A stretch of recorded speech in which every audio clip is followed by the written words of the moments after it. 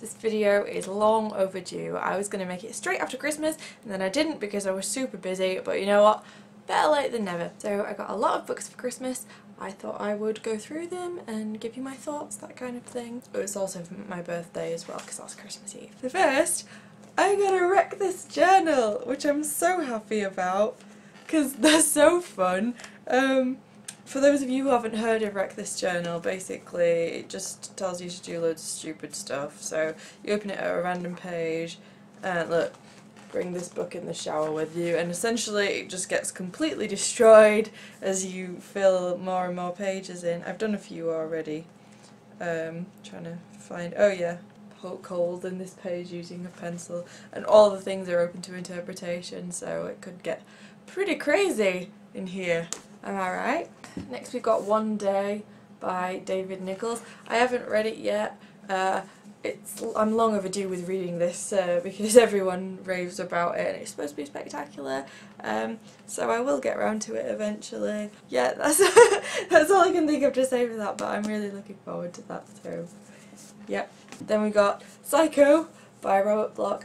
I've been a really big fan of the film for a long time now um, and I thought I'll get around to reading the book eventually. I've been putting it off and putting it off but now here it is. Yep, I can't wait to get my Norman Bates on. That sounded a bit strange. Oh well. Now onto the ones I have read or I'm currently reading. I got quite a lot of graphic novels um, this Christmas or you know at least illustrated uh, books.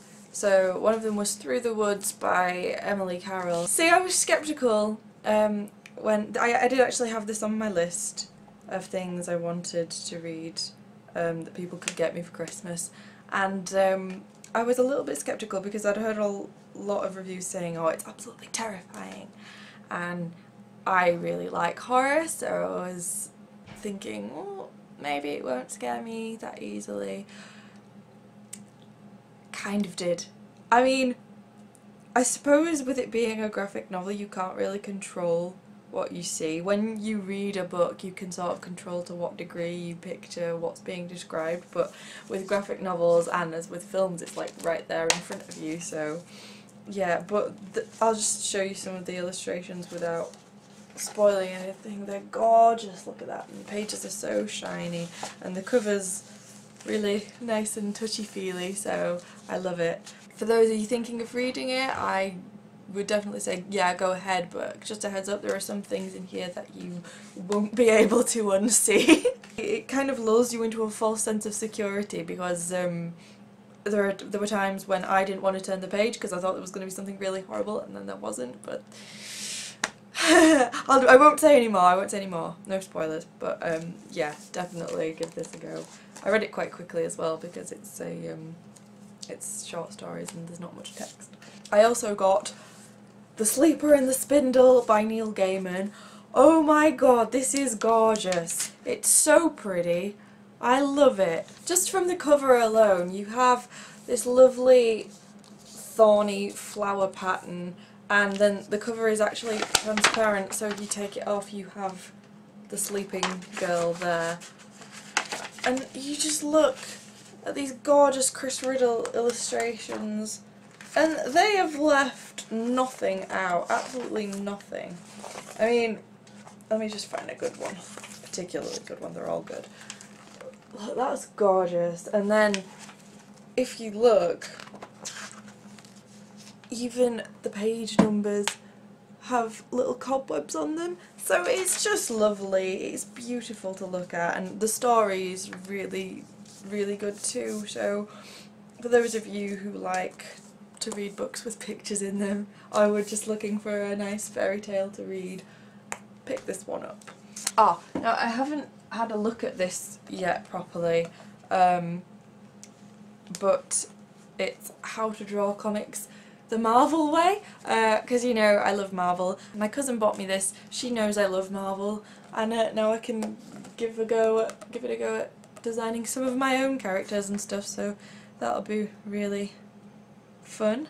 Takes you through everything like just objects and, and people and big monster things like Thing and Hulk and whatnot. So um, yeah, looking forward to reading that properly. Oh no, this. I don't think I've mentioned this on my channel before, but I absolutely adore the film Labyrinth. It is one of my absolute favourites. It is right up there on the top 10, probably in the top 5, because um, I love David Bowie and 80s and fairy tales, so it combines all three.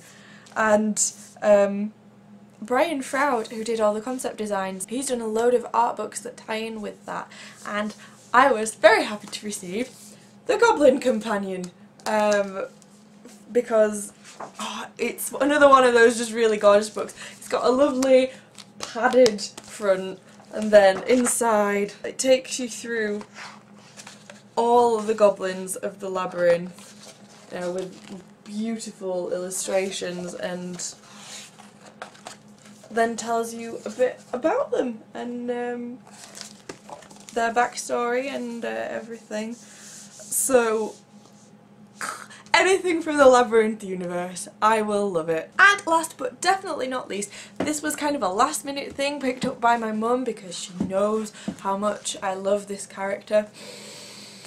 The Bane Chronicles. Now, this is probably going to shock some of you, but I haven't actually read The Mortal Instruments. I've only read The Infernal Devices, but I love that series with an undying passion that burns in the very core of my soul. What I particularly love is Magnus Bane because I just think he's fantastic. Um, so when I found out that they were bringing out all these short stories about him, yes please. I'm uh, I'm about halfway through it now and uh, it's hilarious. It's so funny um, but also very moving in places as well and just Magnus. Those of you who are fans of Mortal Instruments you know what I mean when I say that. Just just Magnus. He's he's enough. So that is it for my um, Christmas birthday book haul. Um, go read all of those because they're all worth it. so if you like this video, give me a thumbs up, subscribe, comment, all that palaver, and I'll see y'all next time. Ta-ta!